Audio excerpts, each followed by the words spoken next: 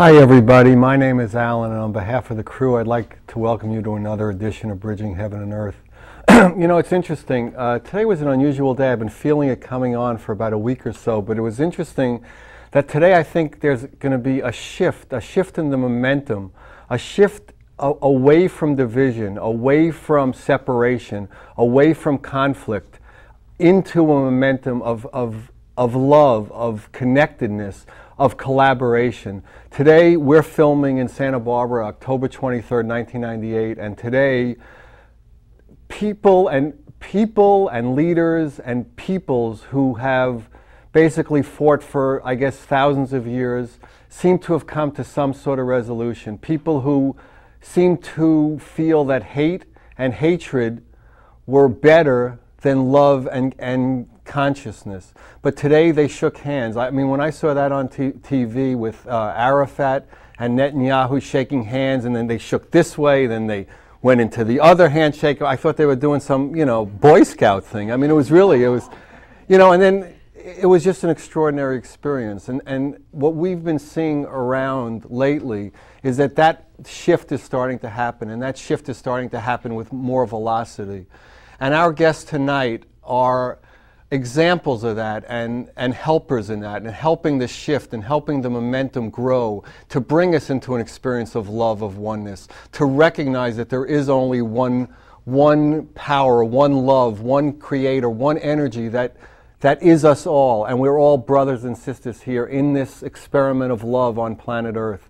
And, and I can see that happening more and more. And I'm just so delighted to be part of that and to welcome the people we have tonight to share with you. We have Ramana, who is an extraordinary being, and he's uh, the developer of a radical awakening process. And we'll, we'll talk to him about what awakens, how it happens, what his process was to come to that awakening, and how it helps propel him and all those who experience that into more and more experiences of love and connectedness.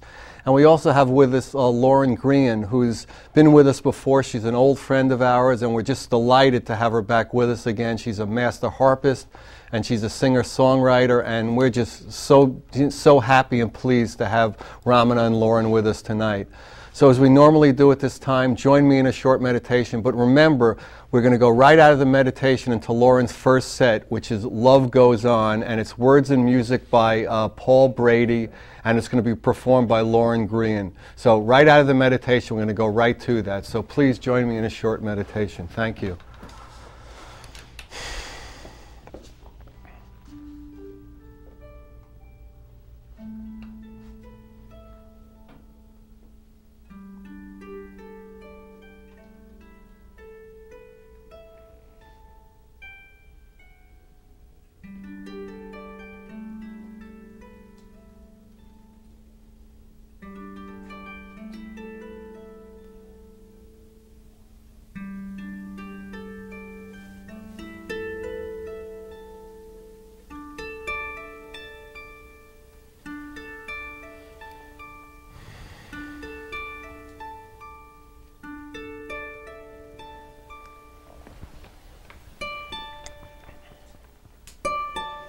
People like us, we search the sky at night, waiting for stars to fall.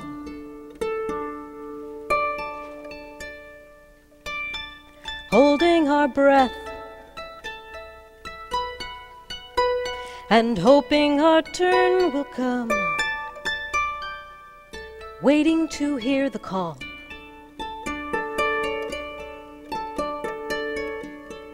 Time after time. We seem to stand in line year after endless year.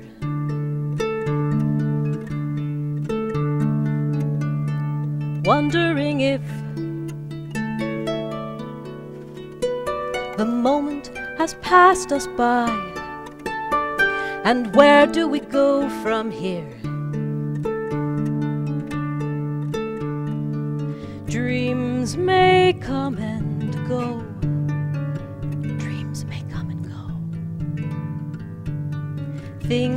Hurt us so. But why should we be afraid as long as we know wherever we go, love goes on? All of the time, rain or come shine, love goes on.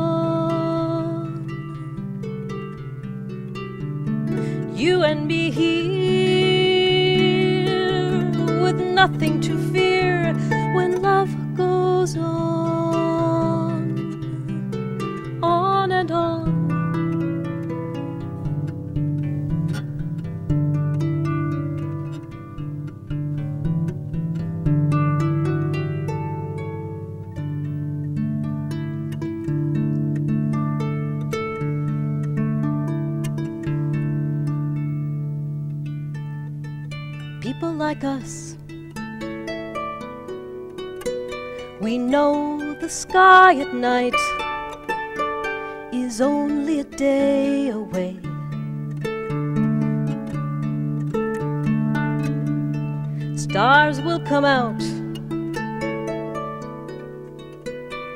time our chance may come.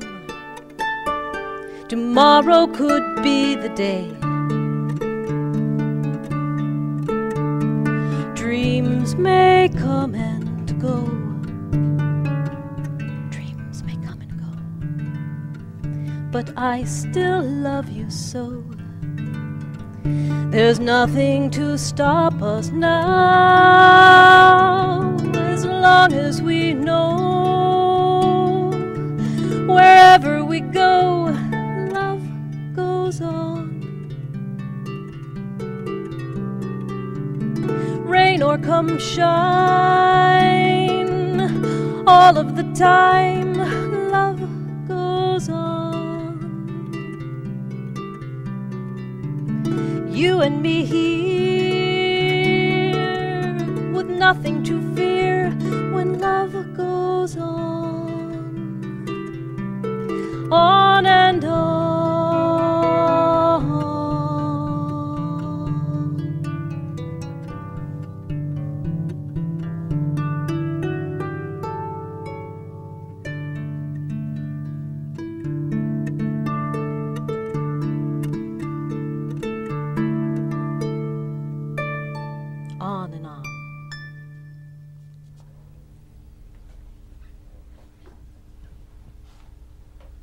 Thank you, Lorin. That was beautiful. So we're on the set with Ramana.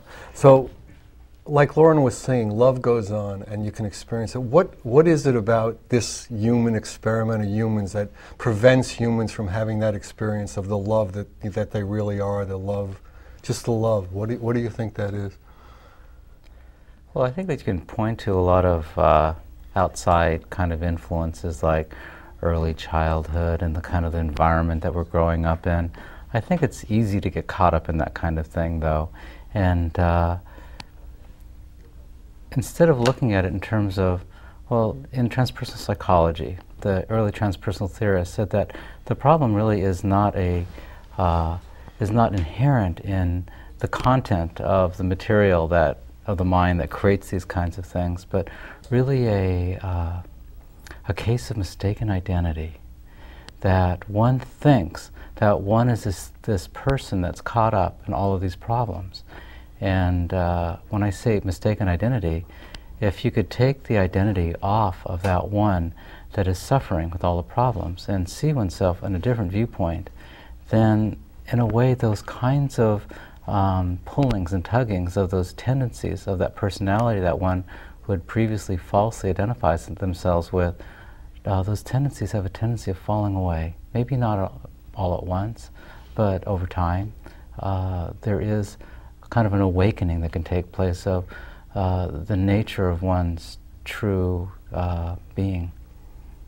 So, in other words, like we're, we're kind of like rising above a maze. We're in the maze and we feel the suffering, and if, if we can have an experience of being above it, we're not so affected by it? Yeah. I think we even have to take a step further back. Because, uh, Alan, I think that what you're talking about is like a, a, a, witness position. Oftentimes the Buddhists will talk about this creating this, this, this neutral observer or this witness. And yet the neutral observer still is a person, uh, still an I. It's still a, a central location. So that, uh, of course, that even in psychotherapy, for instance, uh, it's useful to get out of the problem that one is in to step back and look at it. So mm-hmm. that is useful. I do have mm-hmm. to say it's useful. But what I'm really talking about is something different than just a witness position or standing or being above and seeing from below is what I'm really talking about is when I'm talking about identifying uh, with one's true nature is to see oneself as who, as who, one really is. And that is no central location at all. Mm-hmm. Right. So when you talk about awakening, you mean awakening to that experience. When you talk about a ra- radical awakening process, that's the awakening that you would hope people have, and at some point you had, right? The awakening is awakening to one's true nature. And it really happens at a level of, of knowing, at a very fundamental level. Because if you're looking for an experience, I mean, I think that all of us have had experiences of, um, or at least many of us have had experiences of, of, of peace, of oneness, of knowing who one is. Maybe it happened in nature in a quiet moment, maybe in a deep meditation, maybe through some um, uh, some experiences of uh, of native uh, indigenous cultures, shamanic practices, where you had a sense of all of a sudden something really opens up, and you do lose this kind of sense of this identity that we are, that's kind of secular and small and mm-hmm. provincial, and opening up to something much larger. And yet, what I'm talking about is, is that is still an experience. And that's, I think, where a lot of us are caught we have these experiences of really opening up and knowing oneself, and then it turns into a memory. And then we have this I, the same person that kind of created the problem in the first place, this identification, this person that's trying to get something, to do something better, to, uh, to somehow get some kind of practice or some kind of meditation or something that we can do that we can somehow recapture that experience. So, what I'm talking about is out of the whole set, completely out of the set of this one, this uh, this person that's trying to do something. So it's almost like beyond the practice. It's an experience of something that's an ongoing. It's even beyond experience because experiences come and go. I mean, you notice there's mm. probably days that you feel great and all of a sudden you feel connected. Mm. Other days you feel like, oh, well, this is like nothing's working for me. And you start questioning everything that you start doing. What I'm ta- so that's the realm of experience, mm. and mm-hmm. that's the kind of the cycle that most of us are caught in. Mm-hmm. Caught in the experience of when, when it's good, it's good, and when it isn't, it isn't, and somehow the spiritual path is about trying to get it good all the time. See, the problem again is not inherent in the content of the what that one is doing. The problem lies in the identification there is somebody actually here trying to do something. The case, as I said, as we opened up the program with, is a false identification of who one is. So, and your process brings you into a true identification.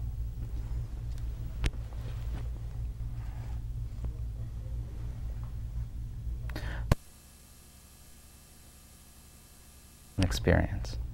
It's a touching into something. It's a recognition. And it only takes a moment to really. I have a whole weekend uh, intensive where, uh, where there's an awakening where one sees who one is. It only takes a moment. But I spend 14 hours setting the whole thing up. Mm-hmm. And once one sees who one's, one is truly and sees the face of one's true nature, and this is the test, if anybody's wondering about if they've really done that or not, is that you don't forget that. That there's never a question uh, that this self inquiry process, which is an established practice in India, the process or the, uh, or the practice of self inquiry. In true self inquiry, you only need to ask yourself that question, Who am I once? Once you see that face, you never have to ask that again. That's the shift in a radical awakening. It's something that's stable throughout all experiences, and it lives in the realm of knowing. And how did you first come to that experience? By grace. I think that's how it happens with all of us. Um, grace came in the form for me of my teacher uh, right over here. Uh, H.W.L. Poonja, affectionately, we all affectionately know him as, um, as Papaji. He, li- he, was in, he died last September, but gave satsangs or gatherings of people who are awakening to the truth of who they are. And it really happened, and again, for me, it was just one moment. What I did was I was about maybe this close to him as we're about as close as we, we are each other right now, looking to each other's eyes very much as we're looking into them. Mm-hmm. And what happened is, is when I looked into his eyes, I saw a very, very vast universe. It was bigger than anything that I've ever seen before and experienced. It's almost like I fell into those eyes and I got lost. And the universe that I fell into totally absorbed me to this one that I called previously Yukio. Disappeared. He wasn't there anymore. And there was this, this breathing, living consciousness that I was that seemed to span everywhere, that included everything. It was in a moment of realization that I realized that what I was looking at was not a vast universe, not a incredible experience of like who I was because there was no one there to experience it. But what I really got in the realization that as I was looking into my teacher's eyes, that I saw myself, And everything. which is everything. Everything. And it's almost like it's not really everything, like there are things here. Uh-huh. It is and it isn't. It's like the stuff that it's all made out of. Mhm. the stuff that it's all composed of. One way of looking at it is, is as if uh, who we are is the substratum of everything that exists. And it's like a blank movie screen.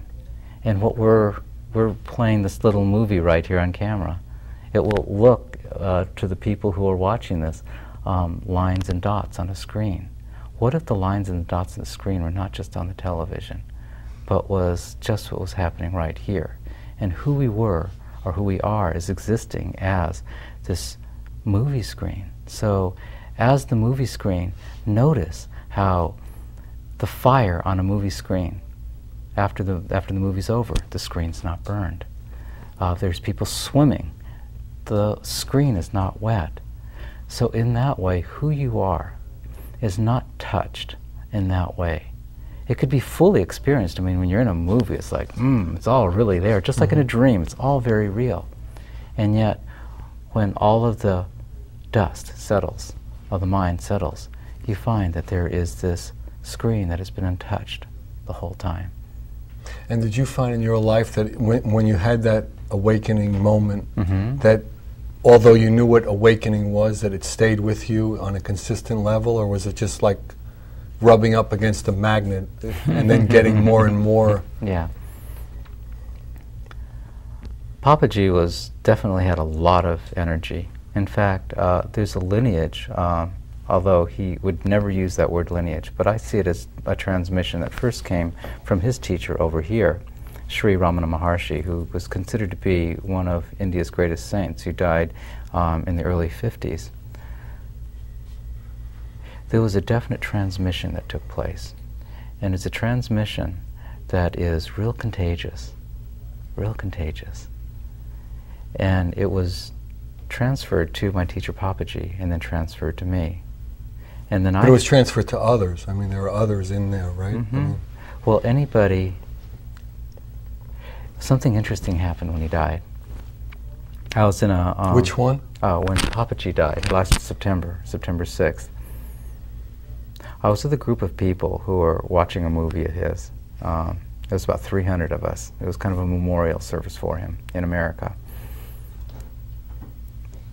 And every one of them, we had this kind of sharing afterwards, and it seemed to be consensus that everybody got a piece of his awareness that was like a little germ, like a virus in a computer, Mhm. that just like starts growing. Growing. Uh-huh.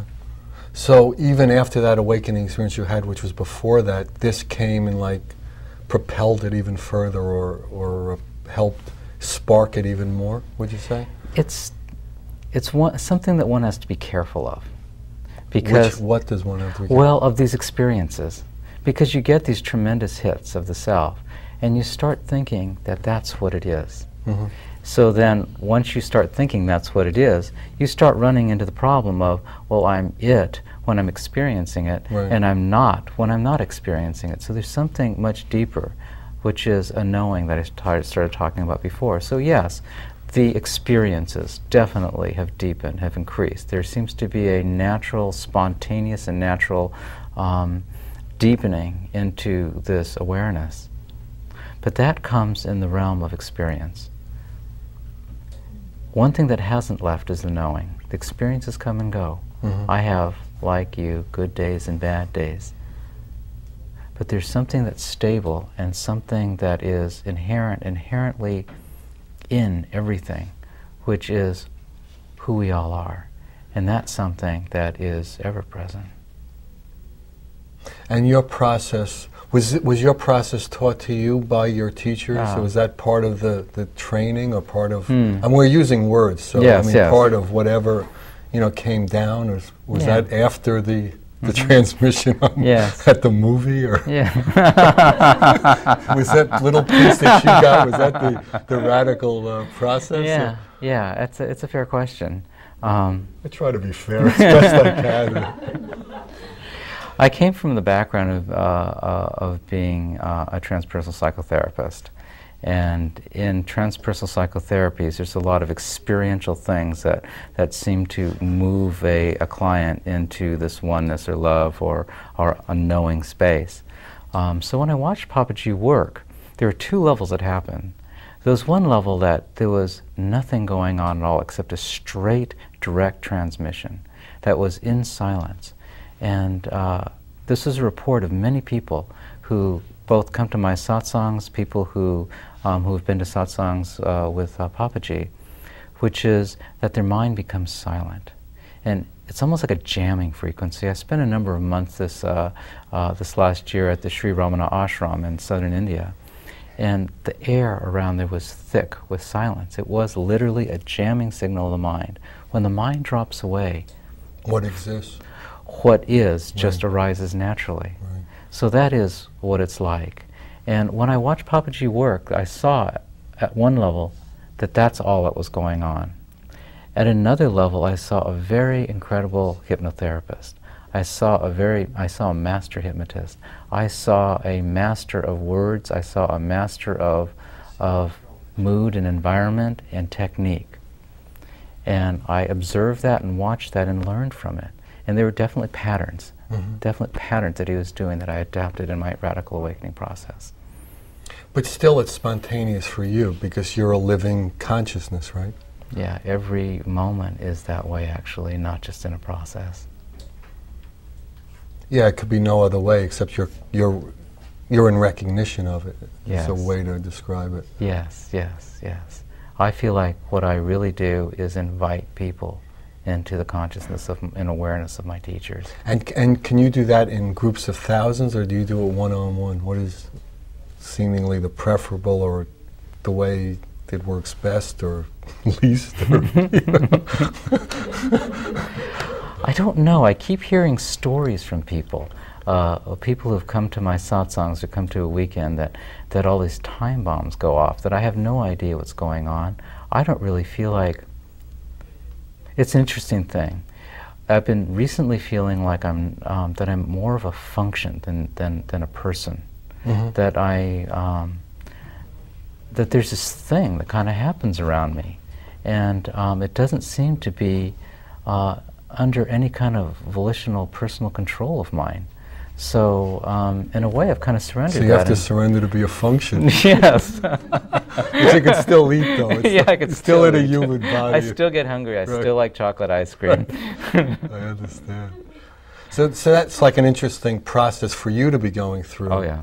So at some point it became like, you know, you were doing this, and then all of a sudden it was like it was being done. It was being done around you. Really, absolutely. I had a lot of like plans and ideas, and um, my teacher Papaji, he um, gave me the name of his own teacher, uh, Ramana, Sri Ramana Maharshi, which I thought was an incredible blessing, and in a way a curse. I thought at first, it's like, how am I going to live up? Yeah, if you to- think it's going to be a to- blessing, yeah. it's going to be in the duality. If you Yeah. think about something, it's got to have both sides. And my mind played with that too. Right. I'm thinking, how am I going to? He, he gave me the instruction to live and teach as Ramana. I mean, the guy was like India's greatest saint. I'm just about the farthest thing from a saint that you can get. Well, we won't get into that. We're and plus, we got you know Ramana's picture on it, so we'll leave that one. All right, maybe maybe now's a good time to take a break and hear uh, Lorin's set. Uh, a stranger from the prairie. Uh, she's going to perform it, and the words and music by a local poet, Enid Osborne.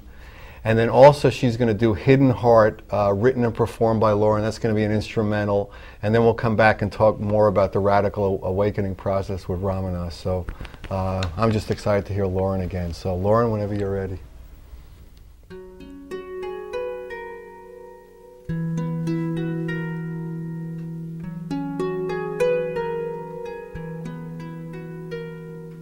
I have no feel for the sea. I am a stranger from the prairie. And when the first shell spoke to my ear, I was a free child of the Pecos Valley.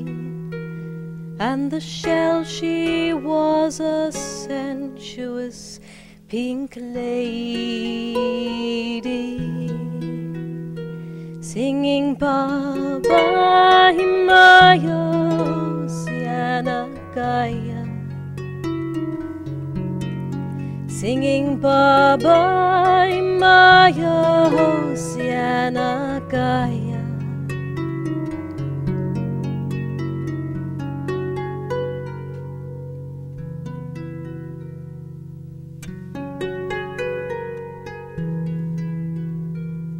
My mama showed her to me.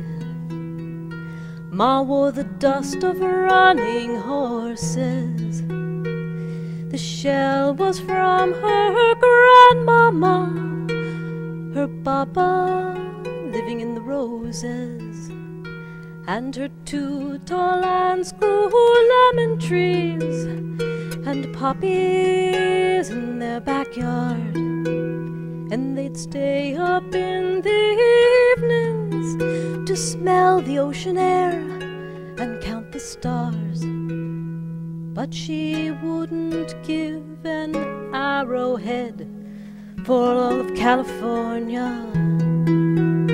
Mama wouldn't give an arrowhead for all of California singing Baba Maya Oceana Gaia singing Baba Maya Oceana Gaia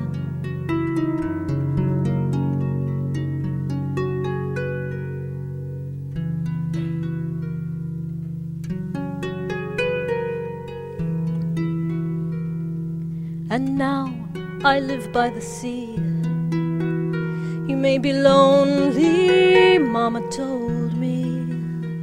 Oh, California, rushing by, how many times you've bought and sold me. But my love and I grow lavender and poppies in our backyard. And we walk upon the mesa, look out to the sea, when I grow tired, and the sea she is my bounteous blue prairie. Oh, oh, singing bye bye, my Oceana Gaia. Singing bye bye,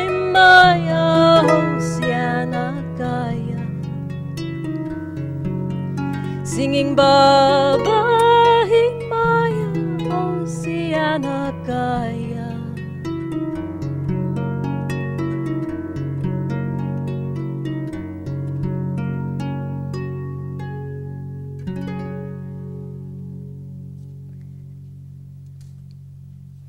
I give uh, great thanks to Enid Osborne for writing such beautiful lyrics and, and such a beautiful melody. This is Hidden Heart.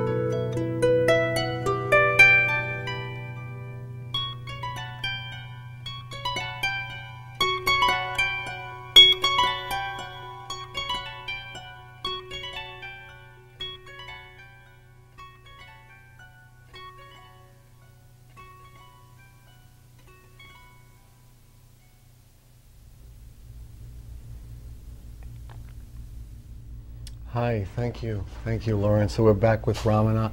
So is there any way we could do something experiential on the set, you know, to like, Oh, okay. Um, would have to be something short, I understand, because Yeah, of the time. right. Let's see what. Uh, well, you know, I'd like to address something. There's a lot of, uh, in the New Age, there's a lot of things that we hear, and we all kind of take it for granted. Like, yes, we're all one, and we all are experiencing th- as things as one, and we are love, and we are awareness. And we hear these things, and we can all, we can all nod our heads with about those things. But I really wonder if you could really get the impact of what that really means, the implications of we are one, what that really means. I mean, if we are all one, we're not saying that we're just one with one another. I mean, I'm sure that's in there. But if we really are one with everything, that means that we are one with the little ant that's crawling into a into an anthill right now, you know, underneath the studio.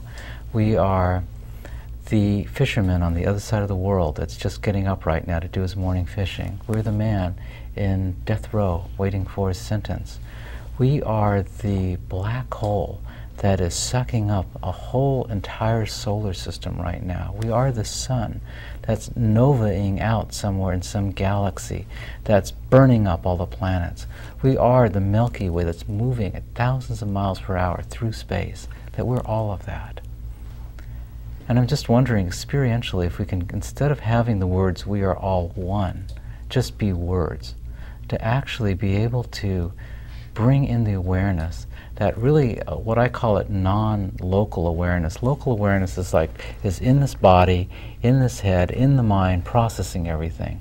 What if you were to take awareness to be we really are one. You and I are one and you are one with everything. So experientially right now, and maybe other people could try this with us. If you can get the idea right now that you are not only this body that's sitting here listening to me, but you are that ant, that you are that fisherman, that you are the sun that's going around the planet, the excuse me, the sun that is that we're circling right now. We are and you are the entire universe from the far ends to farther than your mind can possibly ever fathom. And to just stop dropping away right now of local awareness and opening up to everything that you are this moment. And then to get the idea that that body that's sitting there right now is just something that's being used. It's just part of the creation, no different than this glass of water. But somehow it's channeling through that body right now. So that it's now using those eyes to see right now. That it, all, everything that is, is now listening through those ears.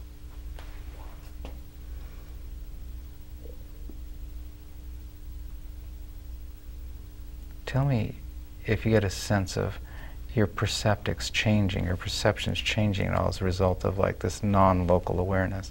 You can give me a report of what you're. Well, I, I don't really have a local awareness generally, so but I know what you mean. Yeah. Yeah, I mean, but it's it's natural, fairly natural to me. But I, I experience it. hmm Okay, so let's add something to this now.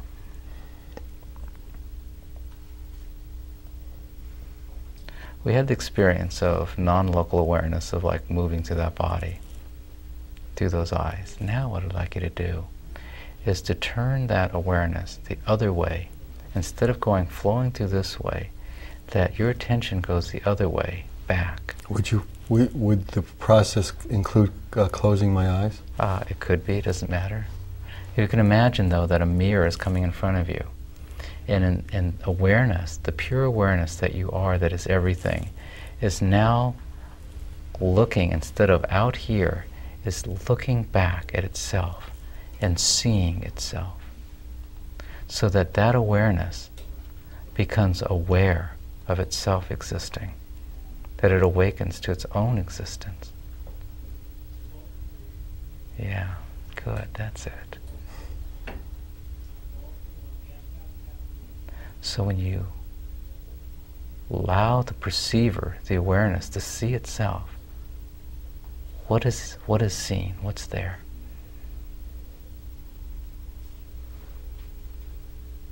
Is that a question? Yes, yes. I want you to look. I want you to look. To, and let me give you just a few more quick instructions. When I snap my finger, we're going to have one second, or maybe even a, qu- a quarter of a second. For that quarter of a second, I want you to stop your mind. That's doable in a quarter of a second, it really is. Maybe two or three seconds kind of tough, but a quarter of a second is always there to do this. To stop all mind, to stop all thinking, to stop all desiring for one quarter of a second, so everything gets quiet. For that one quarter of a second, we have a small window to put that mirror in front, so that you get a direct experience without past history, without desires, without thought. You have one split second to look back and see the perceiver so that the awareness is, can see itself. When I snap my finger, I want you to do that. And when you do that, I want you to tell me what it is that gets perceived. Okay, right now, stop all mind and look back. Find out what is there. Perception is going backwards to so that which is the perceiver now sees itself.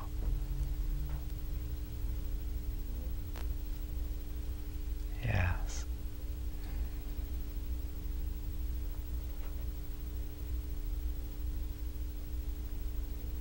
So what's there? I would describe it as light. Mm-hmm.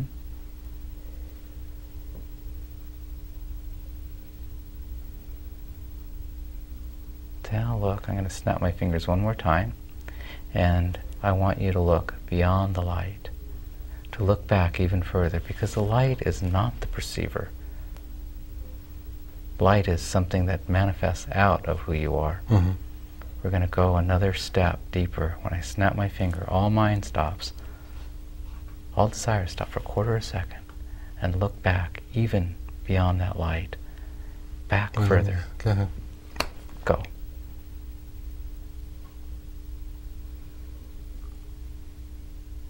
Awareness moves backwards to see itself.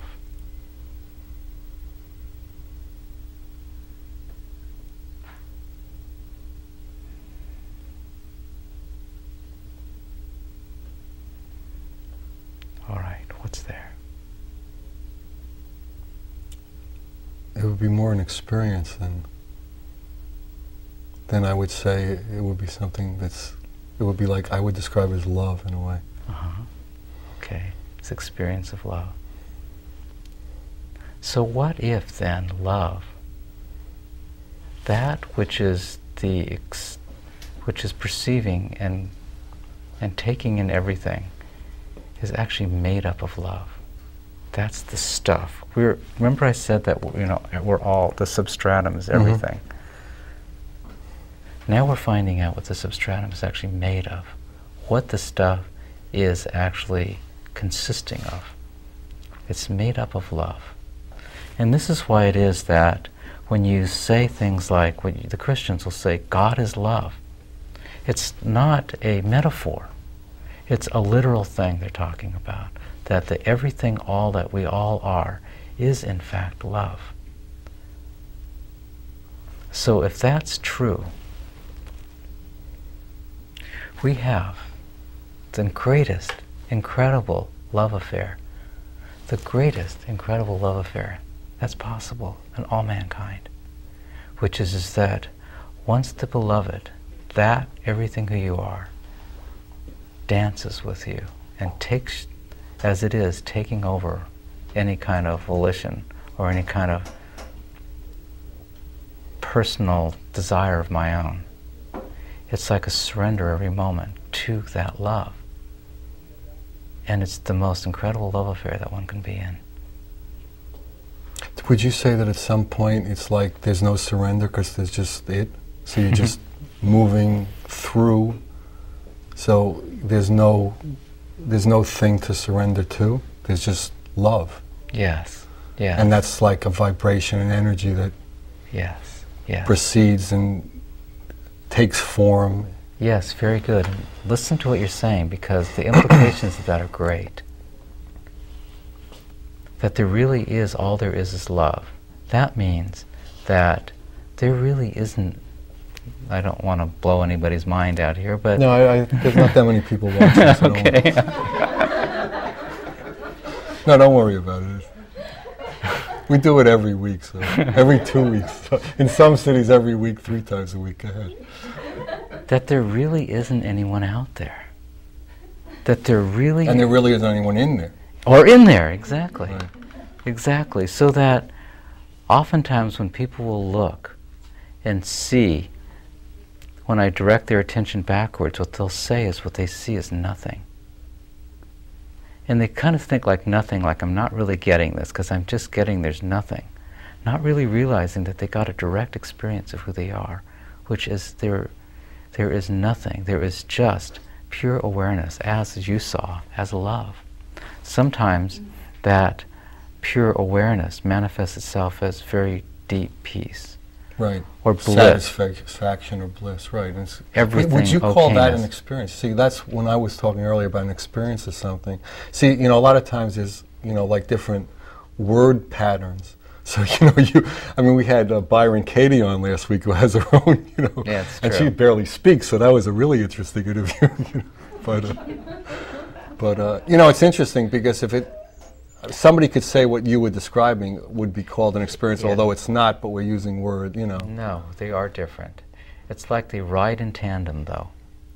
That the knowing of the self rides like this, and it's stable and throughout. Experience goes like this it's a high experience of knowing oneself. It's like forgetting oneself and getting caught up at work, whatever.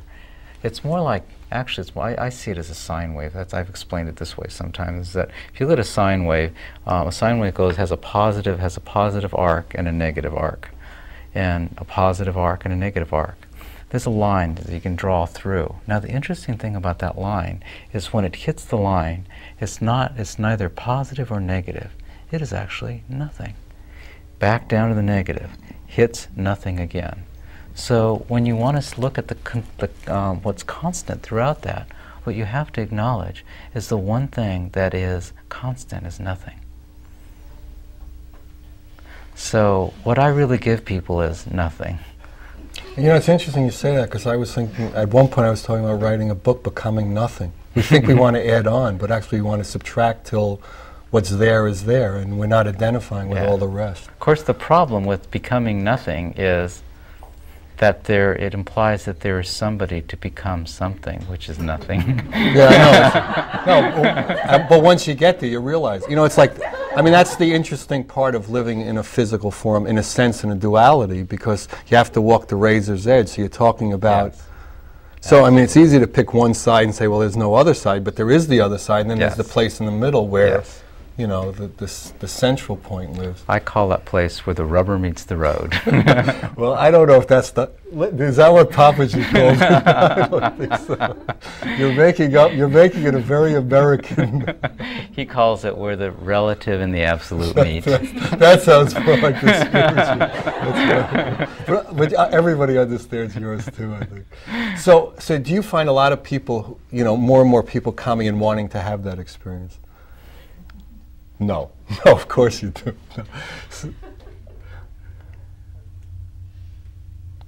There isn't a person I found that doesn't want that. That ultimately, when I find out, when we get underneath the parts that that um, are up to something of trying to get something, if we subject that or put that one through an inquiry process, we found out we find out that every part, every desire, ultimately, is for the union with the beloved. and there's a lot of consolations that we do when we don't have that, and there's a lot of seeking and a lot of um, kind of pyrite, kind of fool's gold about you know getting close to it.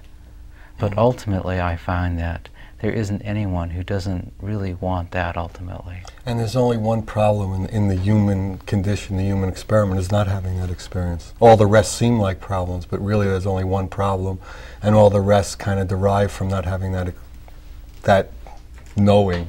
I would use the word experience, but God forbid I do it again. You know.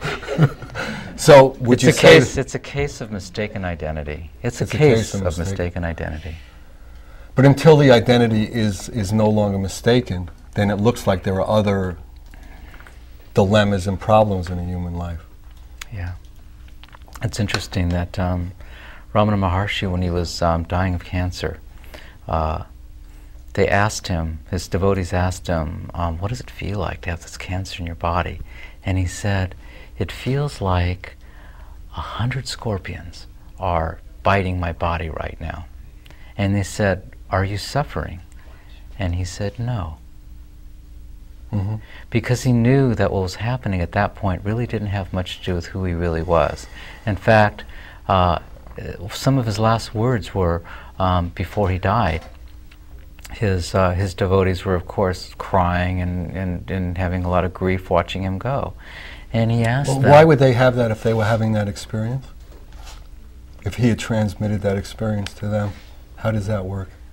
Because the mind always returns. The mind always returns. The mind always. You see, Did, did it return to him? Was he was subject to that same force as far as you can tell? I mean, you weren't in his. The mind does not, as near as I could tell, the mind does not get enlightened. This is really bad news for the mind because the mind really wants something. And yet, when one really realizes the mind cannot get enlightened, there's some kind of freedom that happens around Mhm. that. So, So yes, even in that, we can we can mourn the loss loss of a loved one. In a sense, even though what you know, it's oneness returning to oneness, Yes. love returning to Yes. love, and yet we as humans cry and yet, and feel the loss. Mhm. and yet, his his question was to everybody, as as he was dying, was, "Why are you dying?" Why are you Oh, crying? excuse me. Why are you crying? I'm dying. You're Yes. crying. Let's not get this mixed up. Yeah. Unless one of you would like to know.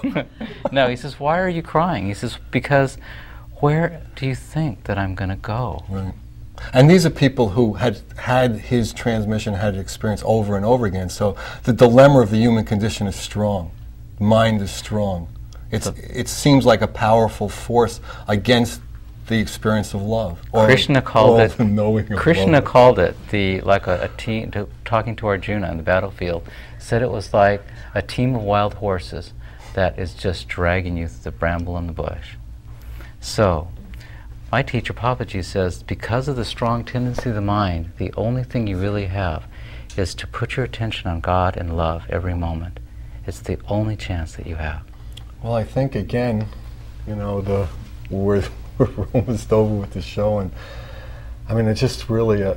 I don't know if you got the feel for what was going on here, but there was just really a powerful, powerful love and a powerful energy, and we're using words again, and you know, everybody has different ways of approaching the words of it, but really, what we want to have is that knowing of who we really are, that surrender to that, that experience of that. And if anybody wants any information, we're filming October 23rd. Uh, Raman is holding uh, workshops in LA uh, over the weekend, the, the 24th and 25th. You can call me. Lorin has concerts around. So call me at 805 687 2053. 805 687 2053, and I'll give you whatever information you need. Uh, and also, I'd like to thank everybody for all the wonderful letters and calls and uh, just beautiful information we're getting from all over. So, God bless you. Thank you. Good night.